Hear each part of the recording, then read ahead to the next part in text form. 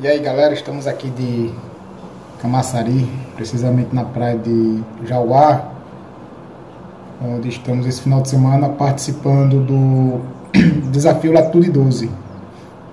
Era para ter feito o vídeo na noite de sexta, mas chegamos tarde. Só fomos pegar o kit e voltamos para casa, onde estamos alojados. E hoje seguimos para a prova. Então vou aproveitar aqui.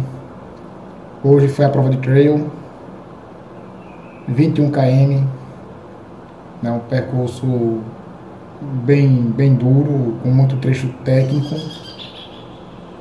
É, consegui terminar dentro do previsto a prova e amanhã no domingo vamos para o 50 km de, de mountain bike. Então vou aqui mostrar o kit. O kit da prova ela veio com dois bonés, o azul foi pro trail e o verde pro mountain bike. O meu azul tá manchado porque eu corri com ele hoje. Foi o, o boné que eu usei. Na bolsa veio também duas camisas. A camisa do azul com esse detalhe nas costas do Trail Run, aqui, né? bem confortável a camisa, já testei a malha e veio uma verde, que é a verde alusiva ao, ao mountain bike e nas costas, bem esse desenho aqui nas flechas, bem, bem bacana. Além de sair dentro do kit veio a amostra do Banana Chips, né, da Malu Chips, veio um granola low carbo, veio um voucher de 15% de desconto na loja da Oakley, lá na, na Outlet, veio mais um voucher de 10% de desconto na fábrica de chocolate, também na Outlet, além de uma cartela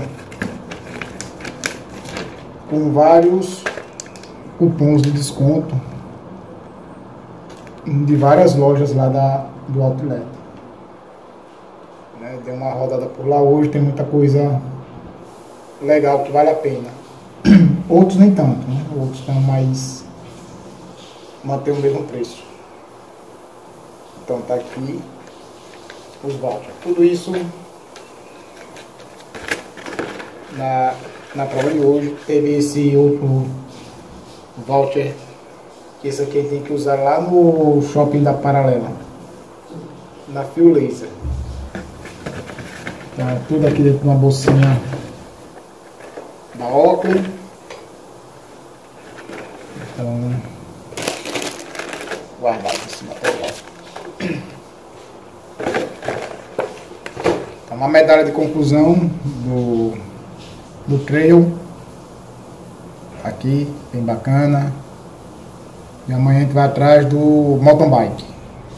Falando da prova, de, basicamente trail run, foi uma prova com muitas subidas. Deu cravado 22 km em vez dos 21 proposto, mas nada que quebrasse o brilho da prova.